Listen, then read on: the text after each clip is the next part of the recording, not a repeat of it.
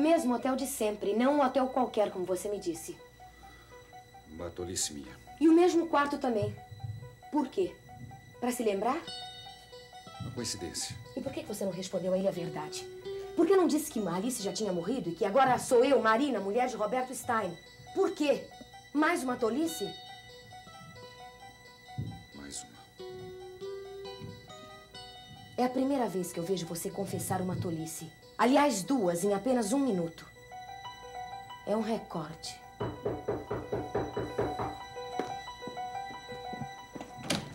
Madame Alice Stein, com os cumprimentos da gerência.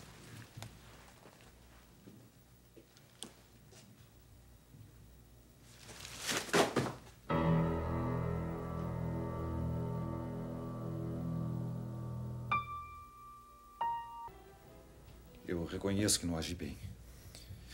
Mas eu gostaria que você compreendesse, Marina. Que às vezes somos obrigados a passar pelas coisas quase que involuntariamente, quando nos habituamos. Como num quarto escuro que nos é familiar. Nós conseguimos encontrar a mesa, a cadeira, o, o fósforo sobre a mesa e finalmente o interruptor da luz. Assim também com as pessoas. Alice, mesmo no escuro, a reconheceria. Pelo perfume, pelo tato, pela respiração. E às vezes eu sou, sou levado de volta para ela, como agora, sem querer.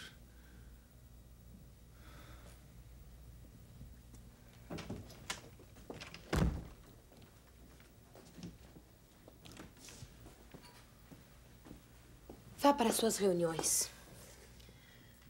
Você veio aqui a negócios. Não vai perdê-los. Ficaremos até o fim da semana, então. Não. Não, decidi que iremos embora hoje. Como estava planejado.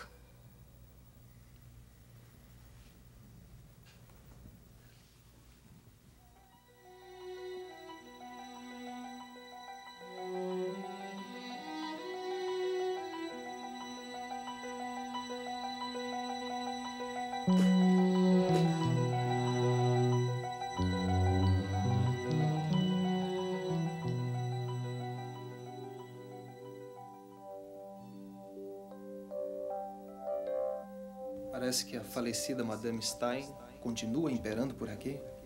Ah, imagina, Miguel, isso é. É é a impressão do primeiro dia, sabe? É que os criados ainda não estão Eu habituados. só espero que não continue imperando também nos corações das pessoas desta casa.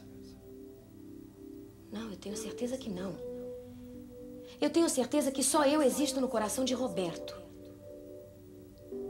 Disso eu não tenho a menor dúvida. Então, Roberto, conseguiu esquecer? Como poderia? Ainda que eu queira, não me deixo. Como se eu estivesse eternamente preso a ela, na memória de todos. Inclusive de Marina?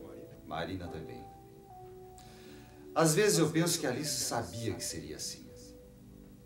Lembro-me que uma vez, talvez prevendo sua morte prematura, ela me disse: Quero deixar tudo direitinho para minha sucessora. E concluiu rindo a seu modo: Quem ocupar meu lugar terá que saber que eu, mesmo depois de morta, continuarei sendo a primeira, a única. E terá que matar-me uma segunda vez, na memória de todos. Minha pobre Marina. Você caiu numa teia de aranha. Numa ampla teia de aranha.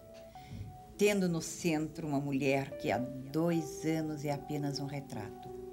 Eu lhe disse a primeira vez que vim aqui. Queime tudo dessa casa. Varra tudo. Não deixe nenhum papel, nenhum rastro de perfume, nenhum brinco perdido, nada. E pense sempre. Ou ela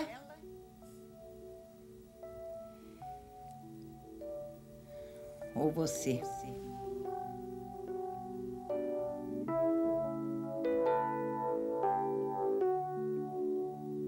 Pensei que tivessem resolvido ficar.